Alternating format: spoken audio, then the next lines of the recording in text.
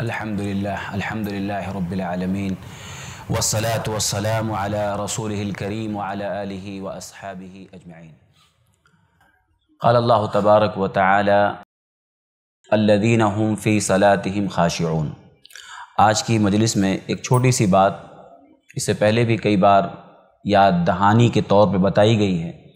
नमाज़ में खुशू के ताल्लुक़ से कई बच्चों को मैंने देखा, कई लोगों को देखा। नमाज़ में बहुत ज़्यादा हरकत करते हुए बड़े बड़े बच्चे हैं और बिल्कुल जो है ऐसा नहीं कि छोटे बच्चे हों। ऐसे बच्चे हैं कि मतलब वो स्कूलों में पढ़ते हैं बड़े बड़े बच्चे हैं, लेकिन वो नमाज़ में कई बार मैं देखा, अगर वो बाजू में खड़े हो जाएँ तो आपकी नमाज़ ख़राब हो जाएगी। यानी इतनी तकलीफ़ होती है कि मतलब अगर वो खड़े हो जाते हैं तो वो बार बार हाथ को छोड़ करके कभी शर्ट सही कर रहा है, फिर कभी पैंट ऊपर कर रहा है बार बार फिर बाल को सही कर रहा है, फिर तो मतलब एक दो तीन बच्चों को ऐसा मैंने देखा कि बार बार हाथ छोड़ देते हैं।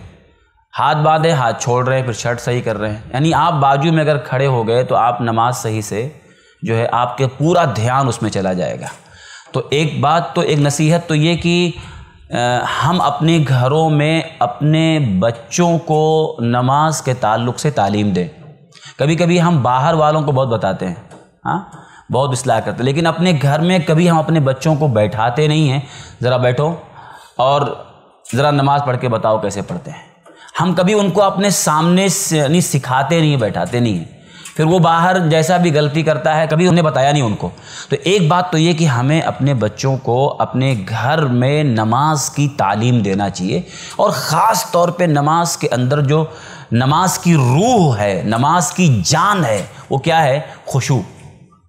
खुशू कि एक आदमी अल्लाह के सामने जब खड़ा होना तो खुशू कहते हैं कि इंतहाई डर और इंतहाई सुकून। दो चीज़ का नाम खुशू है। कि आपके दिल में इंतहाई डर हो और जब डर आता है तो हरकत बंद होती है। हरकत कब बंद होती है? जब आदमी को डर हो।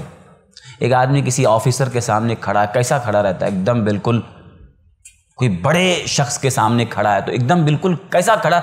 ज़्यादा हरकत नहीं करता। अगर कुछ करना भी होता तो ऐसा कि उसकी निगाह उस उधर ना पड़े।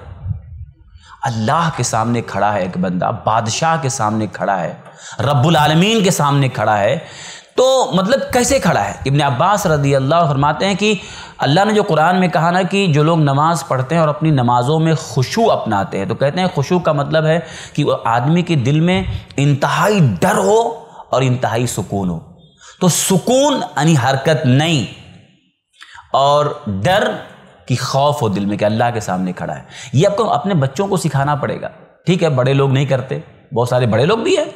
आए तो बार बार वो बार बार अपने बालों को कभी जो है खुजाहट, खुजलाहट शुरू हो जाए कितने लोग हैं नमाज़, यानी जैसे ही नीयत बांधने के बाद पूरे बदन में खुजलाहट शुरू हो जाती।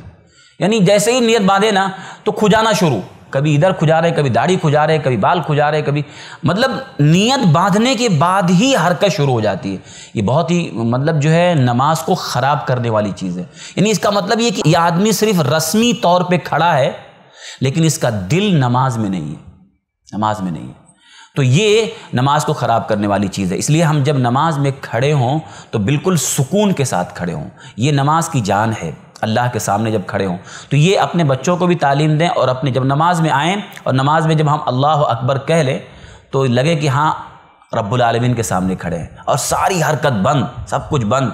और क्यों हदीस में कहा गया कि जब तुम इबादत करो, एहसान का मतलब क्या है? एहसान का मतलब क्या है? जब हज़रत जबरील ने पूछा अल्लाह के नबी से, एहसान किसको कहते हैं? तो अल्लाह के नबी ने क्या फरमाया? अंताबुदल्ला का अन्न का तरा व इलम तकुन तरा फ़िन यराक।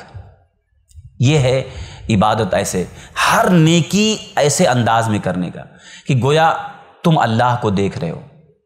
इबादत ऐसी गोया तुम अल्लाह को देख रहे हो। अगर ये फीलिंग तुमको ना आए तो कम से कम ये तो आना चाहिए कि अल्लाह तुमको देख रहा है। तो आप देखिए, ऐसी नमाज़ जब बंदा पढ़ता है तो फिर उसकी नमाज़ एकदम ऐसी नमाज़ बन जाती है कि बाहर उसको गुनाहों से बचाने वाली हो जाती है। जो कुरान में है ना कि इन सलात तनहा अनिल फाशाई वल मुनकर कि नमाज़ बेहयाई और बुराई से रोकती है। कब रोकती है? आज एक बंदा कहता है, मैं नमाज़ तो पढ़ता हूँ, लेकिन फिर भी बाहर जाकर के बुराई और गुनाह से रोक नहीं पाता हूँ, क्योंकि तुमने नमाज़ को नमाज़ की तरह नहीं पढ़ा। वाकई जैसी नमाज़ होनी चाहिए, वैसा नहीं पढ़ा। तो ये जो है, बहुत अहम बात है, और मैं इसलिए क्योंकि कई बार सोचा कि इसको बोलूँ, और वो बच्चे चूँकि जल्दी निकल जाते हैं, मिलते नहीं हैं तो इसलिए आप लोगों से भी गुजारिश, ऐसे बच्चे जो नमाज़ में बहुत ज़्यादा हरकतें करते हैं, अपने घर में अपने बच्चों को हम तालीम दें। वो बच्चे जो कम से कम दस साल के ऊपर हो चुके हैं जिनको मारने का हुक्म दिया गया नमाज़ ना पढ़े तो। सात साल से लेकर दस साल तक समझाना है तब तो कोई मारना ही नहीं है। समझाना है सिर्फ़ दस साल के हो जाए तो, तो ऐसे बच्चे जो दस साल से ऊपर है उनको हम समझाएँ कि नमाज़ में हरकत नहीं। एकदम आप चुपचाप खड़े रहो। जैसा इमाम कर रहा वैसा करो कोई हरकत नहीं। तो ये बात बहुत अहम है और भी खुशू के ताल्लुक से बहुत सारी चीज़ें खुशू कैसे कैसे पैदा होता है लेकिन ये सबसे पहली चीज़ खुशू पैदा करने वाली कि आदमी सुकून से खड़ा हो। और इंतहाई दिल में डर पैदा हो। अल्लाह ताला हम सब लोगों को नमाज़ को इतमान से पढ़ने की तोफ़ी अदा फरमाए। आमीन। तकबल रबालमीन अल्लाम ऐसे ही फ़ायदेमंद इस्लामिक वीडियोस देखने और मनहज सलफ़ पर किताब व सुन्नत की तालीमत को आम करने में हमारा ताउन करें ताकि आपके लिए ज़रिया नजात, जन्नत के हसूल का सबब, साथ ही माल में बरकत व इजाफे का ज़रिया भी बने। आमीन। जजाकल्ला खैरन।